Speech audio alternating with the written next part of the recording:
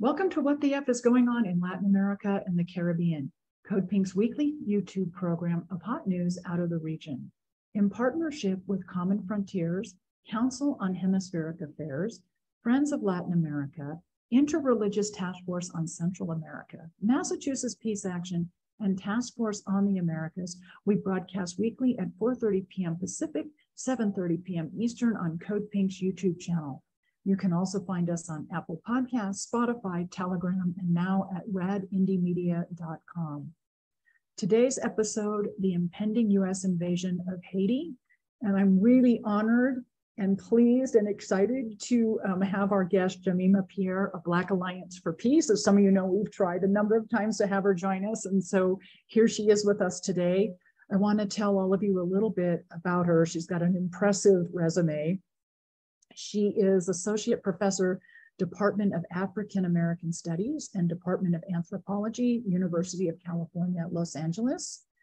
She is a sociocultural anthropologist whose research and teaching interests are located in the overlaps between African studies and African diaspora studies and engage three broad areas, race, racial formation theory, and political economy, culture and the history of anthropological theory and transnationalism, globalization, and the diaspora.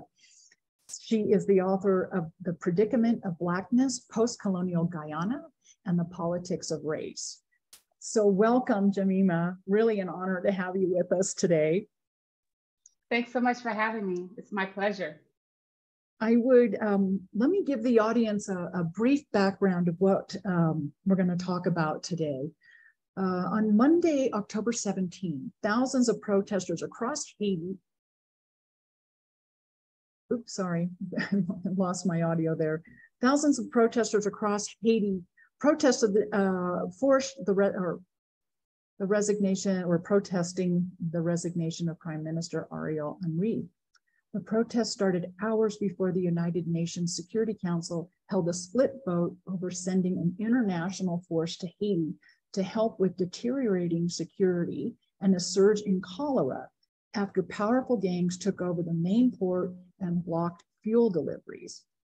The government had been awaiting a response to Henry's recent request for the international community to help set up a quote, specialized armed force, unquote, to quell the violence, which has worsened in the power vacuum created by the 2021 assassination of President Jovenel Moise. The United States and Mexico said on October 17 that they are preparing another UN resolution that would authorize, quote, an international assistance mission, unquote, to help improve security in crisis-racked Haiti so that humanitarian and desperately needed uh, medical supplies by millions of people could be delivered. Petroleum stations uh, have remained closed. Hospitals have slashed services and, and as well as businesses, including banks and supermarkets have cut their hours as everyone across the country runs out of fuel. So Jemima, let's talk about this um, intervention that seems to be coming, and there's a lot of euphemisms that Mexico United States and UN have used um, to create an, uh, an intervention. And maybe for the audience, it'd be really good for you to talk to us about the significance of October 17th in the history of Haiti, because this is a really important date and um, not just for Haiti, in my opinion, not just for Haiti, but for the hemisphere as well. And we don't talk enough about this in the hemisphere. Right. So um, October 17th is important because it was the anniversary um, um, of the assassination of Jean-Jacques Dessalines, who's the father of the Haitian nation. Um, he uh, took over the revolution after the French captured um, Toussaint Louverture, who had helped begin the, the revolution against the French uh, and against slavery and colonialism in 1791. Um, and he took over once Toussaint Louverture was captured by the French in 1803. And he was assassinated by rivals um, in 1806, but after he declared Haiti independent and a republic, and so and and wrote the Constitution. And so I think it's really um, uh, amazing that, uh, and I, I, don't even think that this was an accident that they would choose this date, um, the U.S. and um, and its um, I would call them minions and its and its peoples um, uh, in in creating this to have this conversation where they would think they were thinking about they're thinking about sending an armed uh, group um, to intervene into Haiti at this moment, and so it's really which is which was which is really seen as an affront to the to the Haitian people. They were very um, not frustrated but angry um, uh, at the audacity of the U.S. At, at, this particular moment over this meeting in particular, but in general, um, since the protests have been going on at this point for 10 weeks. So this particular set of protests has been going on for 10 weeks, but there have been a series of protests in Haiti over more recent years. I would, you know, probably 300 years really. Haitians fought for for their freedom and have continued to fight ever since. It's they've never been fully recognized as sovereign people, at least not with their dead and not with their with their lives. But there's been a series of eruptions, protests like for the last three to five years. So to me, from the outside looking in, this is uh, a series of protests of, of the Haitian people expressing their frustration with external interference and really pushing uh, for their sovereignty to be respected. That, that's correct. And I do want to say one of the things that emerges from the, uh, the Western media around the current um, um, what they want to call crisis in Haiti is the fact that they actually have not highlighted the protests. What they've highlighted, um, they've hidden the protests under the discourse of gangs um, mm-hmm. and, and, and personalize it to one gang member. Um, uh, and, um, you know, that's the way the US does, right? It demonizes one person and then, you know, that, that becomes this, like, the boogeyman. Um, for intervention or bombings or drones and so on and so forth. And so I, I call this the Bin, Laden, Bin Ladenization of, of, of these young men in Haiti. But um, th so the protests have been going on for 10 weeks primarily, and this is key, and this is why it's not mentioned in the mainstream press, because uh, the Haitian uh, de facto prime minister, which was installed um, by the US and the core group and not elected, removed fuel subsidies um, from, from, from, from, for Haiti. Um, and this is something um, that the US has been trying to do for a long time. And so, and I would mm-hmm. like to point people to um, uh, Secretary, Assistant Secretary for the region, um, Brian Nichols, who admitted just yesterday in an interview um, on CNN that when they asked him why the US supports Ariel Henry, he says, quote, he has ended fuel subsidies, um, which is something we have wanted to see in Haiti for quite some time. And I respect him for that. So that tells you everything where it's, you know, the shame of this thing is that the fact that you dismiss the principles of basic good politics and policy when it comes to Haiti. How can you praise a government for cutting subsidies that led to 130% increase in prices amongst a global economic crisis, right? And so so to put this in context, you know, the average uh, uh, minimum wage in Haiti is about $2 a day, right? Um, gas prices were about, I think, three or $4 a gallon. Um, with the removal of subsidies, the prices are now $6 a gallon, and people are making $2 a day, and it's outrageous. And one of the key reasons why um, one of the uh, young men who are blocking, who's blocking one of the key oil uh, uh, uh, areas um, in, in Haiti he say until the subsidies are put back in place, he's going to block everyone, right? And so that's so one of the things we have to know about is the U.S. insisting uh, insistence of really killing Haitian labor, um, and he's they, have done that over and over again. You know, just a, uh, maybe about 12 years ago, the WikiLeaks file revealed how the Obama administration tried to prevent the government from raising Haitian minimum wage to five dollars a day, right? And so and so these are these these are like bread bread and butter issues that the Haitians are, are protesting, and they're protesting and they want this um, prime minister gone. They want him to step down because he's a puppet and he was installed without um, he has no legitimacy. He was installed by foreigners, and but also he's been able to um, you know, remove the subsidies. And the reason there were protests, and I have to say, you say the past three to five years, there were protests in 2018 when Jovenel Moïse, another illegitimate president, tried actually announced that he would remove the fuel subsidies. And so everyone took to the streets. And so it was so politically bad that he actually didn't do it. But they, the US is able to get this Ariel Henry guy to come in and do it. So that's really the key to the protest, but also general frustration of interference. Um, you know, one of the, and, and I guess we could talk about this later, but the reason that there's a there's a, a, a security issue is because there've been about 700,000 guns dumped into Haiti, um, uh, coming through private ports.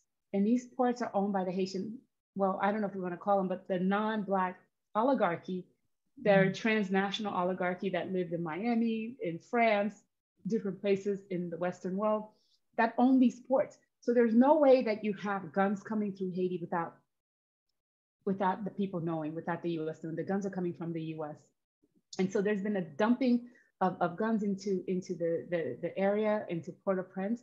And that's really caused an increase um, in um, young men who have nothing to do.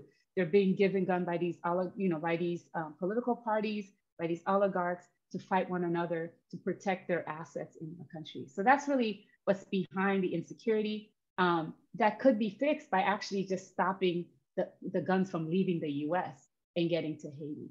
But instead, what the US wants to do is actually send um, an armed mercenary force, really, to, to basically prop up this completely illegitimate and unpopular um, prime minister that they installed. So what I am hearing, understanding, is that these 700,000 guns, this is this is a way to destabilize the country internally, the yes. gang violence, and then the gang violence that's being manufactured, that violence is being used as the excuse right. for an international force to intervene. So it's a manufactured crisis, which is not unique to Haiti, in my opinion. Exactly. It's not unique to Haiti. And I wish, and I always say this, and I say, you know, if people didn't exceptionalize Haiti so much, they would see the patterns, you know. And I was yes. talking to a group um, just yesterday, an older Caribbean um, activist group, and they're saying, well, the US did the same thing in Jamaica in the 80s, just dumped all kinds of weapons into the country. And so, you know, Jamaica's violence is out off the chain compared to compared to Haiti, really, or even Mexico. And that's the most most I you know ironic part. You know, you have these cartels controlling things, but yet you know you have Mexico trying to send a, a force to Haiti. But one of the one of the key things to, to, to, to think about is the intervention. I want people to really know what the U.S. is trying to propose here.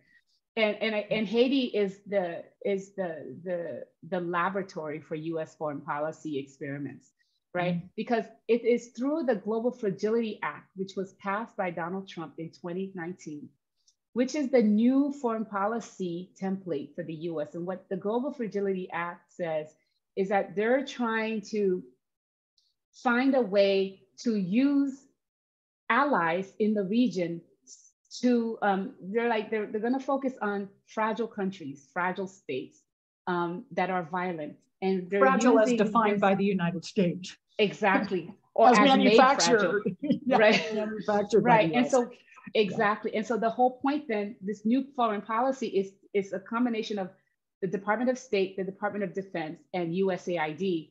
This is the mm-hmm. new model, and I hope people look up the Global Fragility Act. It's a new model for foreign policy where you basically deploy local forces, you know, around and use so-called um, local-based um, solutions and and then um, uh, local uh, allies to actually work to bring security and safety to this different uh, to these different countries. And so what's happening with this Global Fragility Act is that the U.S. chose five countries, um, and guess which is the first country that they're trying it on?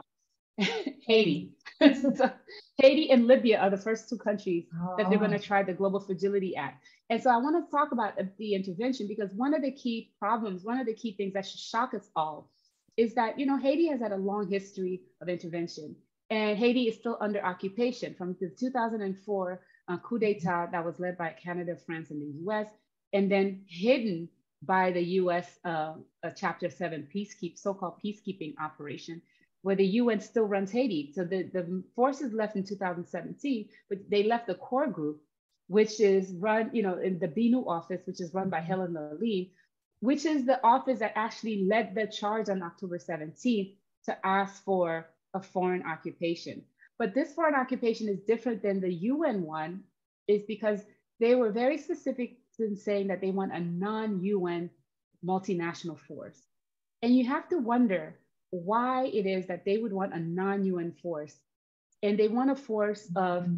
like almost like the coalition of the willing, mm-hmm. of having, you know, of, of not, you know, so we hated the UN occupation, but to have a force that's not under the UN mandate actually makes it even less legal and they're you know so the the legal realm of the legal parameters of these then become very confusing right and so basically it's like getting a coalition of countries willing to send troops into haiti armed troops that are you know but without the purview of the un that to me is a bunch of mercenaries going into haiti um, um, and, and doing that. And so but the global fragilities act is such that it basically says it will do something like that. So right now what we see happening is that I think we think that the US, they're having trouble getting the Western countries to provide troops, but they've already convinced the CARICOM countries, the Caribbean countries, to provide troops. So all in line, one after another, the past week you had the, the Bahamian government, the Trinidad government, the Guyanese government saying that they are willing to send troops into Haiti. And that is a recipe wow. for disaster. So let me ask, the, the UN still has a mission there troops there. Okay, so well, they, the, they have they have police there. They said they removed all right. the troops, and the, the the mission supposedly finished in 2019. But the UN office, the BINUH office, is still there. Yes. Okay, so there's still a presence there with police. Now you're going to introduce a non-U.S. Western, a non right coalition, black countries. Right. Yeah, I'm shocked about CARICOM. Well, maybe maybe not. No, you shouldn't be. No, maybe not. yeah. Um, so listening to this, let me just ask you, are we seeing, to me, when I see uh, a coalition, non-UN, Western, I, have to say, to me, this is almost like watching what's playing out in Europe right now. Uh, uh an East-West thing. Proxy war. Yes, and uh, an East versus West, or a Eurasia versus the international community, Western. Uh, and you know, it may also play out in other parts of, of uh, the Americas as well, with Colombia being a NATO global partner and Venezuela being ne- right next door as a Russian ally. I mean, are, is this like growing? Or uh, maybe it not growing, but becoming more and more visible, I guess. Yeah, but it's also using proxies everywhere so that US troops yeah. don't have to be on the ground. And then you have to link this to military exercises because one of the things, the, the goal is to use soldiers from these, but with US equipment and US training, right? So then it makes sense. Then you have the Southern Command that's been having military exercises every year. So Operation Trade Winds, which is a military ex- set of military exercise that have that have that they have every year that includes all these Caribbean and some Latin American countries in the area where they have exercises right off the coast of Venezuela, right? Mm-hmm. And so that tells you what what. So you wonder, so why they're doing these exercises every, so that these countries then can can fulfill the role of the U.S. without.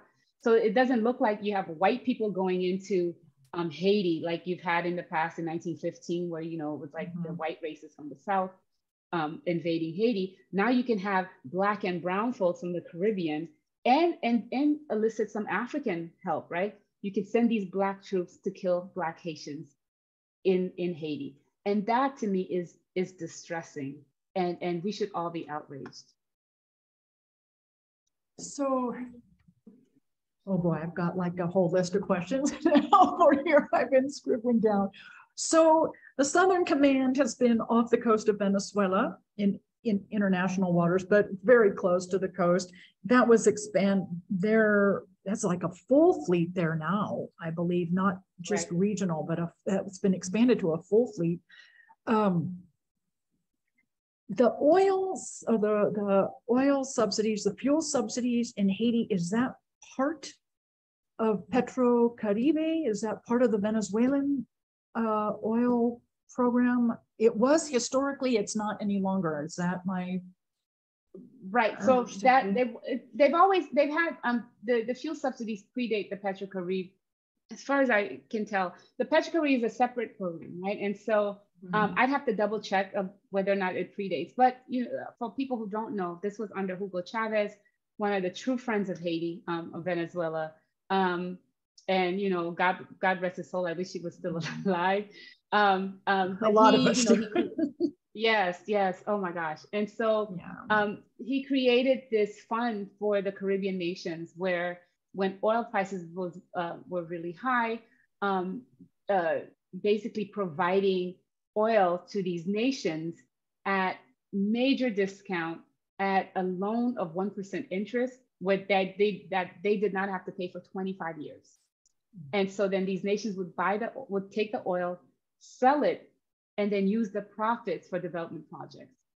And the US, and, and so Rene Preval, who became president and signed on to the Petrocaribe, really the US wanted him out because they were very upset that he actually went behind his back, their, their back, and signed this deal in 2006. And they've been trying to get rid of Petrocaribe for the longest. And they got they got out of it once they installed um, Jovenel Moise, who was able, you know, who got out of the Petrocaribe uh, program, um, which would have been very helpful. But at the same time, not before the, the PHTK, the party that Hillary Clinton helped put in place, Michel Martelly, uh, from 2010, um, stole about $2 billion worth of that money that was set up, and which is why you had protests okay. um, from 2019 okay. to 2020 mm-hmm. saying all these elites stole this party, mm-hmm. this political party that was pushed onto p- people. All of them became extremely wealthy off of this Petrocaribe money. Okay, that's the missing link for me. So there's my light goes on. That's the missing link for me. I did with uh okay. So um so what is um oh I had one other thing I wanted to ask about um find my notes here, I'm sorry. So with this uh, non UN multinational force and it mercenary. and listening mercenary force yeah and th- I, I appreciate you using that word versus contractor i hate I just right. that euphemism that's used in the west contracted yeah well when i was a kid they were called mercenaries and mercenaries, they right. still appropriate it's still an appropriate term a realistic term what um so what sort of aside from the um, protests in Haiti, what sort of protest pushback is happening in the region or globally? Or is Haiti on, on its own in this? Again, I think Haiti, Haiti so yeah. often is.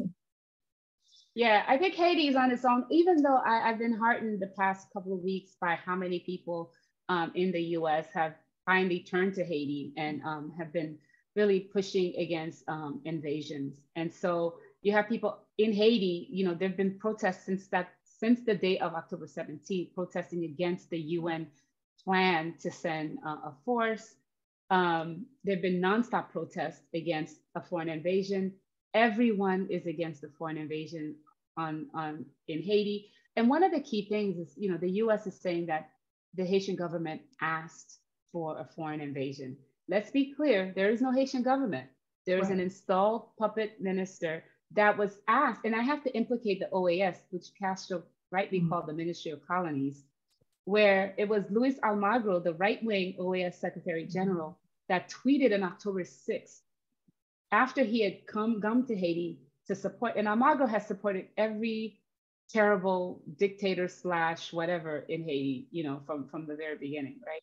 But he's the one that tweeted after meeting Ariel Henry, he tweeted, that the Haitian government should ask for international support to help with this issue.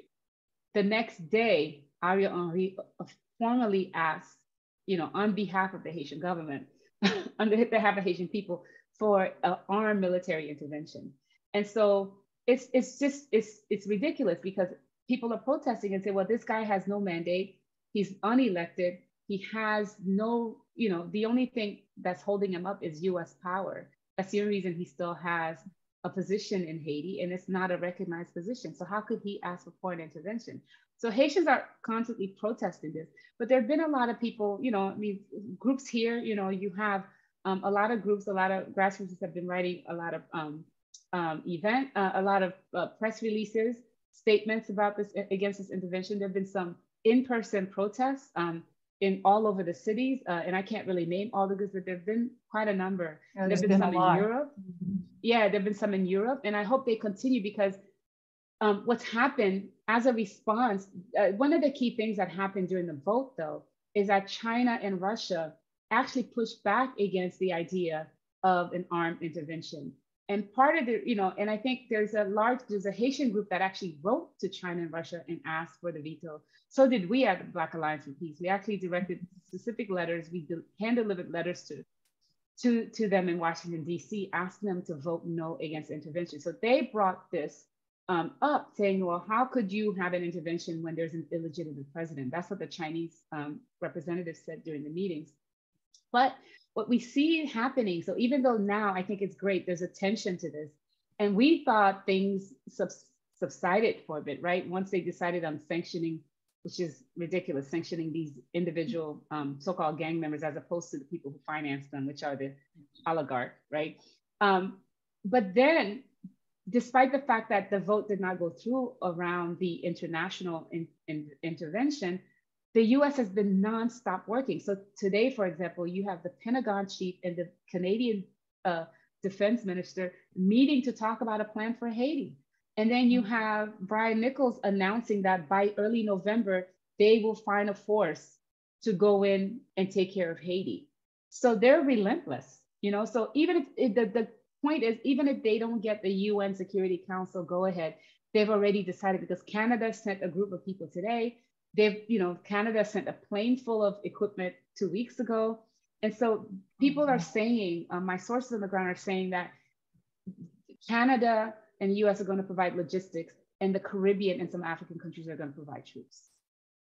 So this is when we actually wow. need to stand up and protest even more. Listening to you, I mean, I, it's it sounds to me that this international force, this non-US, non-UN force, because the UN is already there, China and Russia, as part of the UN, UN Security Council, do not support intervention. So this is really very clearly a workaround from the UN. A workaround and that maybe, they will continue to use later. Ex exactly. exactly. And specifically a workaround from China and Russia's position. Exactly. So once and this works in Haiti, they will use it elsewhere. Exactly. That's, that's why we say Haiti piece. is the yeah. Haiti is the lab. They can try mm-hmm. and get away with these things. And so now that they're so upset because they've been so frustrated by the vetoes with China, you know, especially Russia's vetoes, right? Um, and I think yeah. I think that's the way to bypass the UN while still claiming to be working with the UN. Yeah, basically, basically bypassing Russia and China. Exactly. Yeah. Because yeah. that's part and of the Global Fragilities Act as well. It right. mentions Russia and China at the end. Yeah, and the whole Eurasia project versus the, inter- the West or the quote unquote international community, which right. is all of five countries out of 192. Right. Yeah. Wow. This is like fascinating and also really uh, scary. Awful. Yeah, it's really, it's horrifying. Yeah. We have a lot of work to do in the States, a lot to do. And so let's talk about um, work to do in the States. You mentioned um, so many different groups in the States that are, you know, have protests, statements, letters. Black Alliance for Peace uh, has written a letter to the president of Mexico. And maybe we should talk about that because I am talking with you from Mexico City. And um, you know, we love the president here, but like with any government, you know, not ev- not everybody gets it right, and sometimes there are also slits, as we're clearly seeing in the states uh, within the government. And so, what is what are you? Uh, you've written a letter. Black Alliance for Peace has written a letter um, addressed to Lopez Obrador, and can you share with us the content of that and and what we can do to help uplift uh, your concerns? Right, and and I have to say, this letter was an was actually um, an open letter to um, that was signed actually by a number of organizations um, that we were able to get a, quite a number, I think about 40 um, mm-hmm. organizations to sign on with us um, against uh, uh, uh, to talk to AMLO and just basically say, um, this is this is not the way to go. But one of the key things that I don't think people realize, the way that first of all, the UN is an undemocratic institution, and if we begin with that premise, because you have five permanent seats, veto right. power, and so on, right? So, and it was, you know, the history of the UN is linked to, you know, colonialism and the League of Nations, and it's really was set up to maintain European hegemony in the global in the international community. So I, I want to begin there. But so then what, what ends up happening is that the US really, you know, the UN Security Council has 15 seats, even though you have the five permanent seats, but you have rotating right. seats. And, and this is how the US has been able to actually exert influence because you have the, the three African nations, you know, uh, in the rotating seat, and they think they can curry favor the US if they go along with, with the plan. And who are those but Mexico's, three? I think it's Gabon, Kenya, uh-huh. I don't the third one, maybe Ghana. I have I'd have to double check. Yeah. So those are the three African nations. They vote along the US. Mm-hmm. Um, Mexico also has a rotating seat, and but Mexico is what's considered a co-pen holder in, in the UN Security Council. And co-pen holder, their role is basically to help um, they fo- they're, they're, they're focused on, on one specific issue. So Mexico is the co-pen holder for Haiti. And what it mm-hmm. does is, is a co-pen holder for the US with, with the US. So the US, these permanent um, seats, they work with different um, uh, countries that are on the security, you know, rotating seats of the Security Council to take on an issue. So Mexico took on an issue, which means that they write all the resolutions around Haiti. They work with the US to come up with the UN plan. And so Mexico was very key to writing this resolution that, you know, push for an armed multinational invasion of Haiti.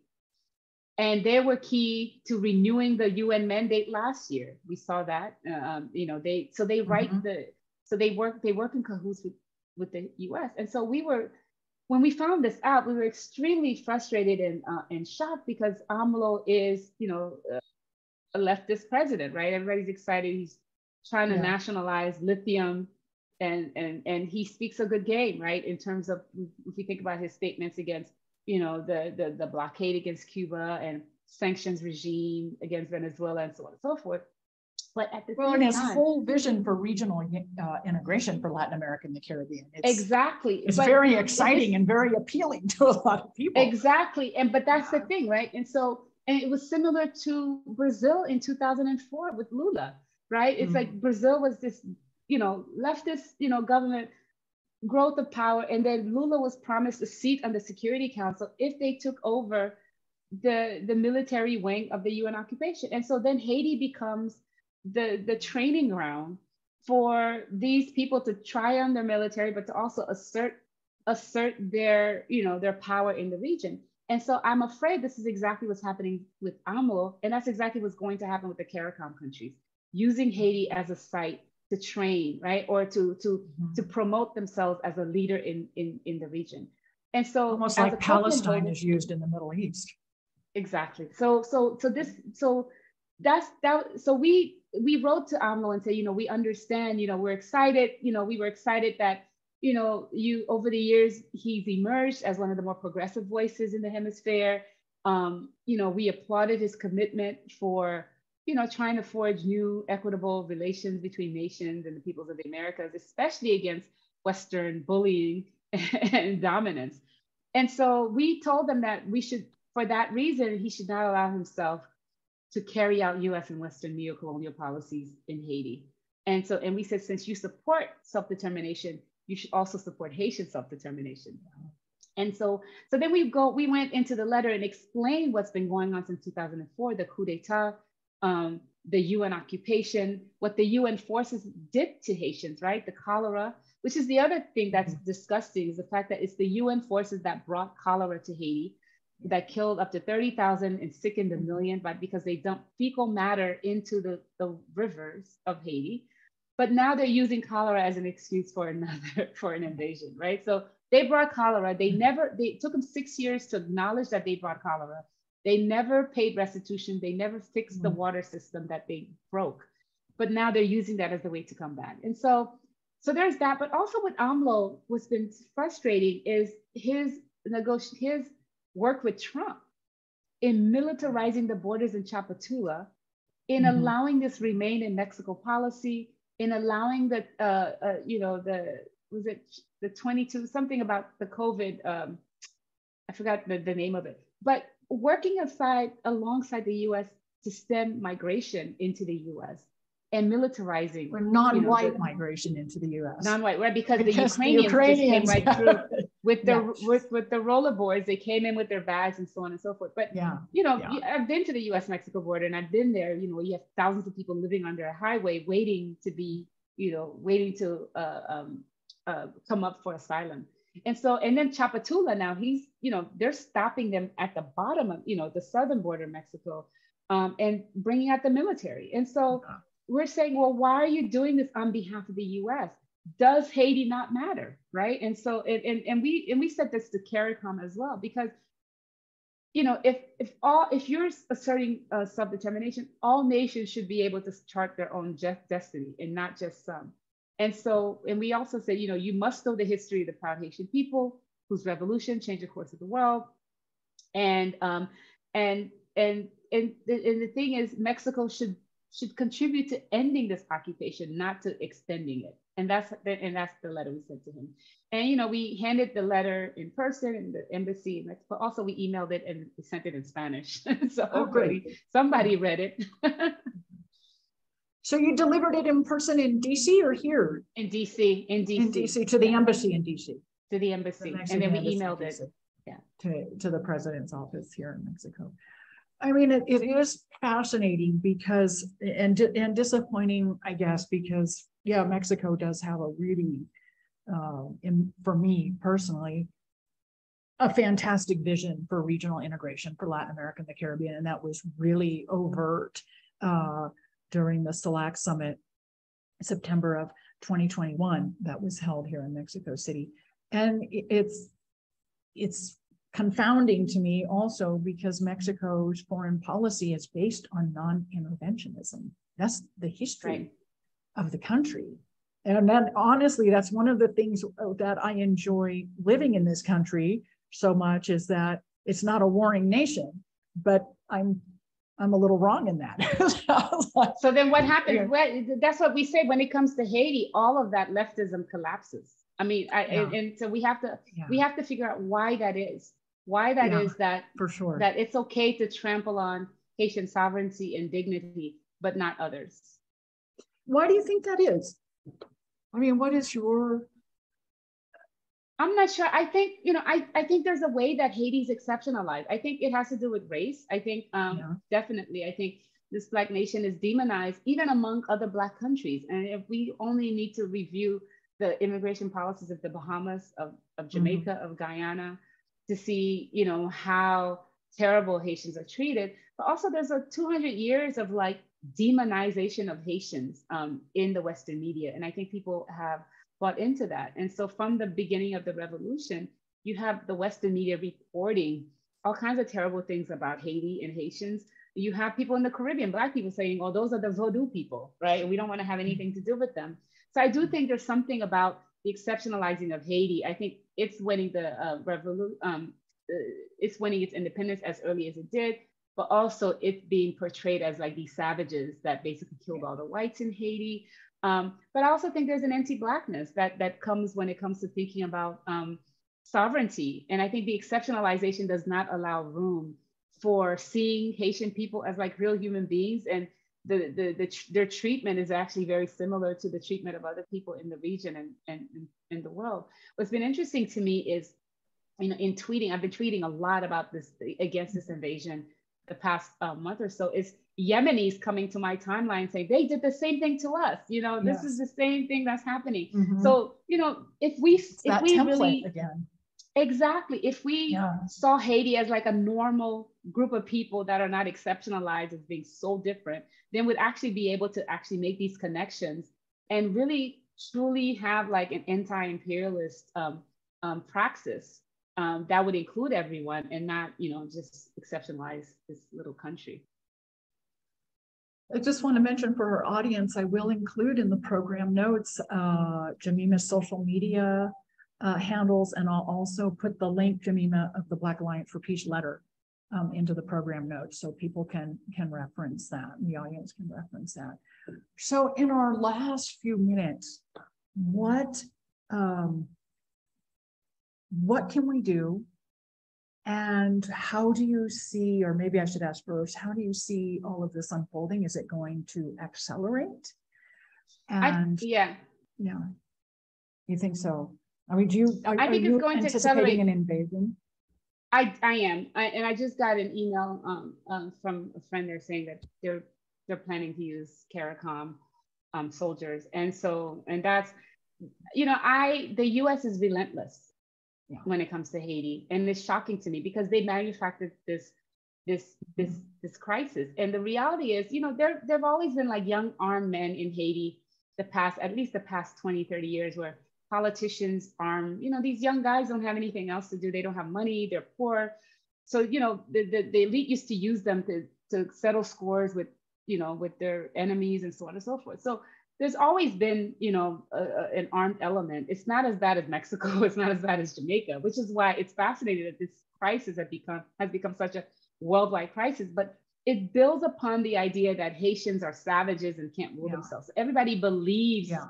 you know, Haiti's about to collapse. It's like when this president was assassinated last summer. They're already calling for intervention back then right. because they're like, this place is about to collapse, and people were calm Nobody did anything. It's like, oh yeah, the president got assassinated because people kept moving, right? But I think I think what's going to happen is that they are going to do that, and it's going to be a bloodbath because these young people are so angry.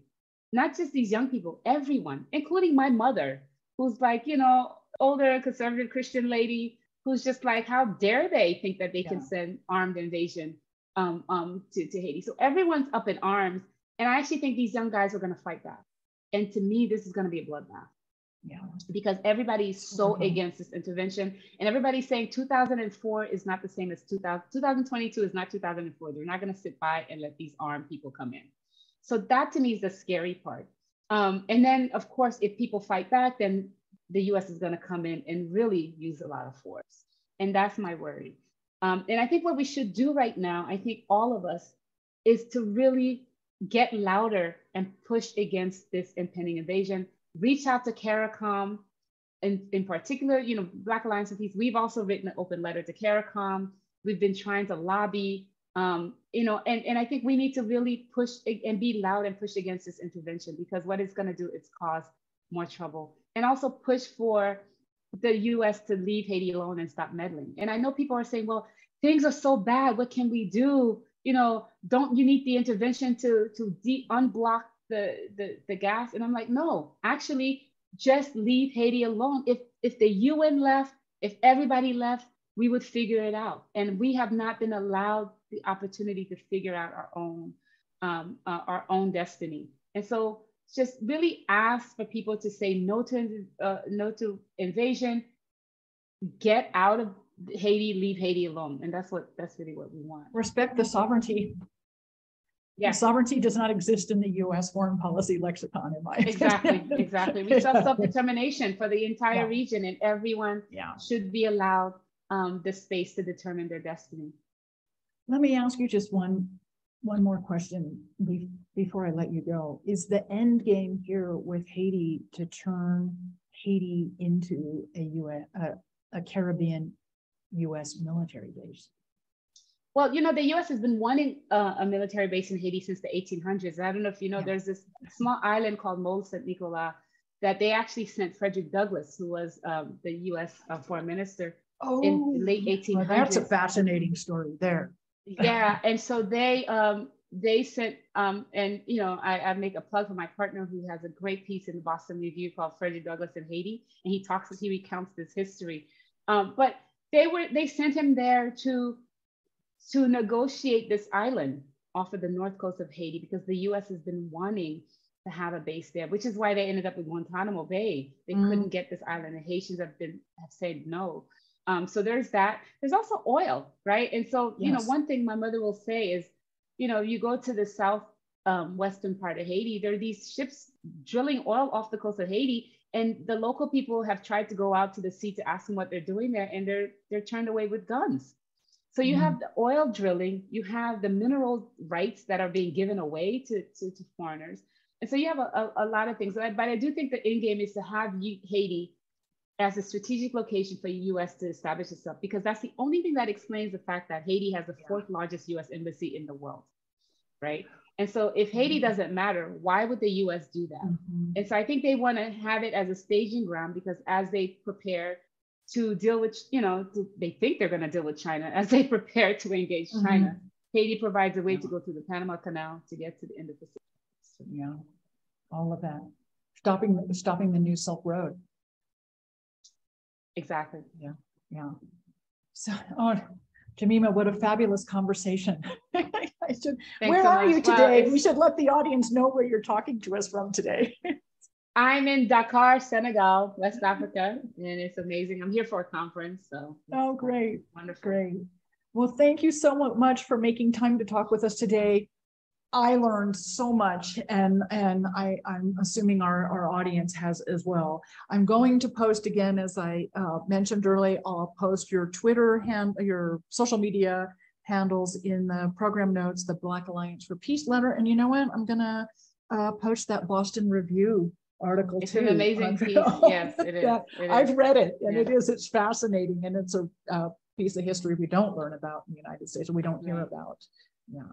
So thank you so much uh, for joining us. I want to uh, remind our audience, you've been watching What the F is Going On in Latin America and the Caribbean, Code Pink's weekly YouTube program of hot news out of the region. We broadcast every Wednesday, sometimes Thursday, depending on guest availability, uh, 7.30 p.m. Eastern. You can also find us on Apple Podcasts and Spotify. And I should also remind you to listen to Code Pink Radio, which broadcasts 11 a.m. Eastern uh, out of New York City on WBAI and uh, Washington, D.C. on WPFW. That program is also available on Apple Podcasts and Spotify. So thank you, everyone. A huge thank you to you, Jemima. I'm so thankful for our conversation today. And uh, Thanks so enjoy much the for rest having me. It's my pleasure. I'm Thank trying. It's already evening, so yeah, it's What's it's the time difference? It's like seven Um, hours, I think, East- between you and me. Yeah. I think it's well, it's four hours for Eastern time, but um, seven hours for Pacific Okay. time. Yeah. Okay, and I'm two, so five, I get five for Yeah. six come fall, so. Okay, thank you again. All Very right, much thank appreciate Terry. the conversation. My pleasure. Take good care. You too, bye-bye.